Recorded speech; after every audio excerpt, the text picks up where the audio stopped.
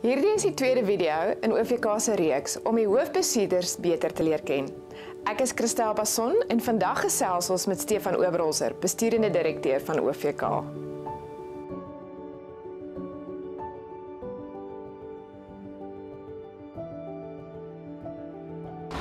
Stefan, baie dankie dat jy en jou gesin vandag vir ons tyd maak. Ons sien verskriklik uit om saam met julle te kuier. Jy's besturende direkteur. Dis 'n baie groot verantwoordelikheid. Ja, Christel, uh OVK het vele vertakkings en het bykans 2000 personeel. Maar dit is hoekom mense spankundige mense het wat baie help om die druk te verlig. Stefan, jy het finansies studeer. Hoekom juis dit en hoekom OVK? Christel, ek geniet die adrenalien van die besigheidsomgewing ongelooflik. En omrede ek op 'n plaas gegro groot geword het, was landbou nog altyd my passie gewees. En OVK gee my die geleentheid om my passie uit te leef. Jy is al meer as 26 jaar by OVK en bykans 20 jaar op hoofbestuur. Hoe hanteer 'n mens moeilike situasies? Ondervinding help baie aan. Ek is nogal iemand wat kalm kan bly in moeilike situasies. En ek trek goed ook nie persoonlik aan nie. En dit maak dat ek in enige situasie redelik beredeneerd kan benader. Stefan, wat is die nalatenskap wat jy vir OVK sal wil nalat? Christel 'n finansiële gesonde besigheid met gelukkige personeel. Maar meer belangrik is dat die boere aandeelhouers moet besef OVK is hulle besigheid en hulle moet hom koester vir ons nageslag want ons moet ons landboubesighede in boerehande hou.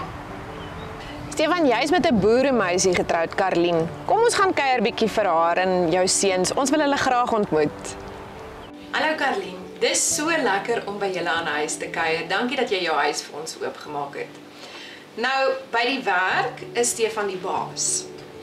Maar sekerlik het hy 'n eienskap of eienskappe wat jy verseker weet, beide by die huis gereflekteer word sowel as by OVK. Dankie Christel, dankie dat jy hier is.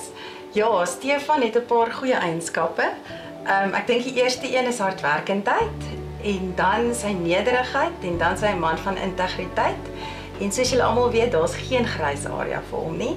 Dis of swart of wit. En ek moet vir jou sê, as jy weet iemand staan by jou, kan jy met hom oorlog toe gaan en dan gaan jy nog terugbring uit die oorlog ook uit. So, Verseker. ja. Julle is die ouers van hierdie twee pragtige seuns. Ek is Johan, ek is 7 jaar oud. Ek het klaar met graad 1 gemaak en ek gaan graad 2 toe Hoi. in Lady Brand Primêre Skool. Jy Loukie? en dis Lou, hy's 5 jaar oud. Hy was in Goue Lokkies en hy's volgende jaar graad R in Bokmakierie. Wonderlik. Karlien, vertel vir ons bietjie hoe spandeer julle as gesin tyd saam wanneer Stefan in die aande by die huis kom? Christel, dit is vir ons belangrik om darm ten minste een ete om 'n tafel saam te eet. So ons probeer dit altyd in die aande doen. En dan in die somermaande met hierdie twee besige seentjies, is dit altyd tydjie vir rugby, cricket, sokker of tennis. En in die winter is dit gewoonlik Uno, slangetjies en leertjies of boereplaas. Nou, wat geniet julle om as familie saam te doen? Christel, Vrydag aand is pizza aan. Dan maak ons ons eie pizza. Ek moet sê dis amper die hoogtepunt van die week elke week hoor. Dan hou ons daarvan om bietjie ehm um, naweek op plaas toe te gaan. Ons spandeer baie tyd daar en ons braai en ons hou baie van die wildtuin en die see ook. Lekker. Stefan, tussen al jou werk deur, het jy nog 'n boerdery in Ficksburg ook? Christel, ek het so 14 jaar terug grond in Ficksburg gekoop. Ek en my broer boer saam. Hy is voltyds op die plaas en hanteer al die operasionele aangeleenthede en ek hanteer die finansies.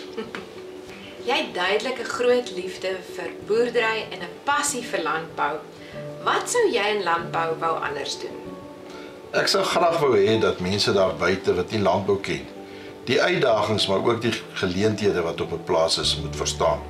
En dat daar net soos in die koöperatiewe wêreld daar buite boere is wat baie goed doen, maar ook boere is wat baie swaar kry.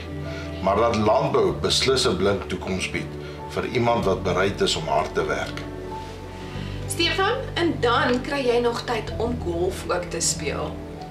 Ek Christel ek speel nie goeie golf nie, maar ek geniet dit ongelooflik baie. Want as ek op die golfbaan is, vergeet ek van alles by die werk en is dit regtig lekker afleiding vir my. Stefan, voor ons groet, is daar iets wat jy vir die mense daar buite wil sê?